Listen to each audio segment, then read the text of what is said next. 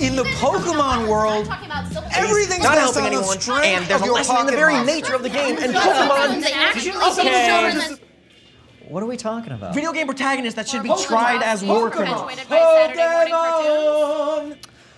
How about Oh, that's way better. Yeah. now, Daniel? You were saying some pretty incendiary things about Sonic the Hedgehog. Why don't you go first? Okay, so you know Sonic? The Hedgehog? Shut up.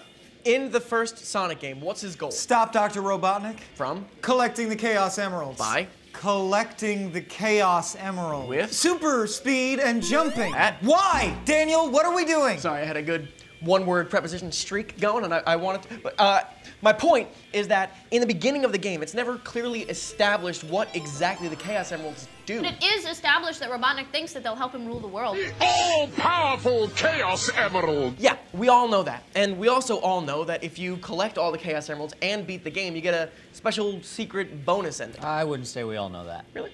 Okay.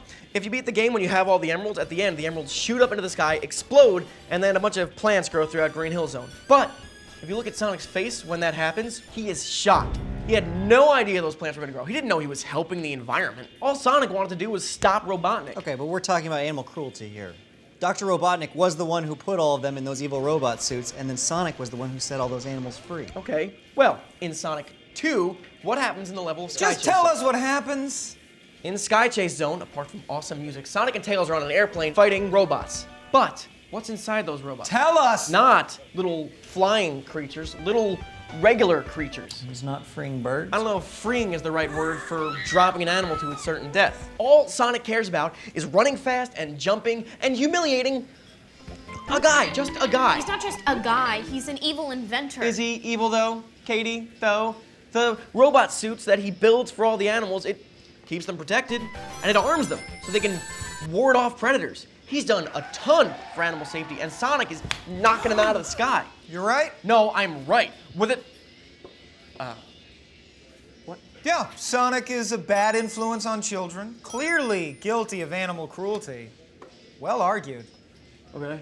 I'd say it was almost as good as my example if the population of Green Hill Zone utilized an entirely dogfighting based economy. Exhibit A, Your Honor. Who are you talking to? I'll allow it. Thank you. We all know that Pokemon is essentially legalized dogfighting. Yes, Pokemon trainers are. Ah, ha, ha.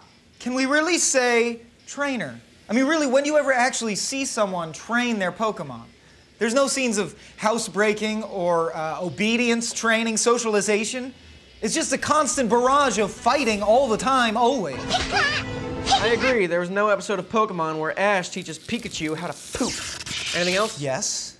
My exhibit B is literally everything else. You know you're gonna need to elaborate on that, right? I'll allow it. See? Because it's not just that a few people are fine with animal cruelty, the entire society's economy is based on it. In the game, every city you go to has Pokemon hospitals. Every shopping center sells Pokeballs, Poke Potions, Poke Rocks, whatever Pokemon are into. You either have to breed or fight or support the breeding and fighting of Pokemon. and what's gonna happen when your society is entirely based on Pokemon? Ooh, a joke about how no one has any sex because Pokemon is lame and stupid. Ooh, you're too busy catching them all to actually get any. No, that isn't it. Obviously. Anyway, what happens is that all the power goes to the guy with the strongest Pokemon. You rise to power based on the strength of your Pokemon, and you can only be dethroned by a dude with a stronger Pokemon. It's like the Old West, and Ash Ketchum is basically Al Swearengen. EB is Goldine. I have a chart. I want to talk about Flintstones. Katie, did you have something you wanted to say? Everything that Michael said about Pokemon is true of the Flintstone universe, but worse. Okay, the entirety of Bedrock's economy revolves around forcing the dinosaurs into slavery. Oh, okay. Slavery's kind of harsh. Well, yeah. No, the word in this context. We ride horses. We have dog sleds. Well, people have dog sleds. You know, I read somewhere that we used to use live snakes as belts. No, you didn't read that. No, I didn't. It's silly. The point is that we use animals for labor all the time. It's not slavery. But we do use our animals for labor because they don't talk or think. I mean, the Bedrock dinosaurs have personalities and opinions, and humans have conditioned them to accept their lives of labor. Take every swordfish that doubles as a carving knife, or every woolly mammoth that's forced to be a vacuum cleaner, or every bird broom, bird clothespin, bird rake, bird pie maker. I mean, what do they all turn and say to the camera? Eh, it's a living. I mean, they can talk and think and dream, but humans have forced them into believing that there's no other alternative. Dino can't talk. Oh, but he could. Oh, too excited to know that information. In season one, I'm there's a- doing the Flintstones. Dino does talk in the first season. He's like well spoken and, and clever, more like a butler than a dog. Mm, you can say that again. And what did the Flintstones do? They get him to cut that talking and thinking shit right out. I mean, sure you can stay here just as long as you sleep outside and you repress everything about you that makes you remotely human. What would we call that if it happened in America? if We call that slavery. In a kids show. Guilty. Creationism show, too. What?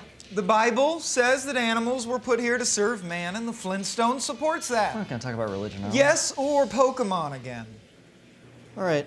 Which Pokemon would taste the best? Awesome. Jigglypuff. Jig, yeah, I was gonna say Jigglypuff. I'm just gonna leave. Okay. Subscribe to our channel. It's cool, not banal. And if you don't, I will kill you like a death panel. yeah, instead of banal.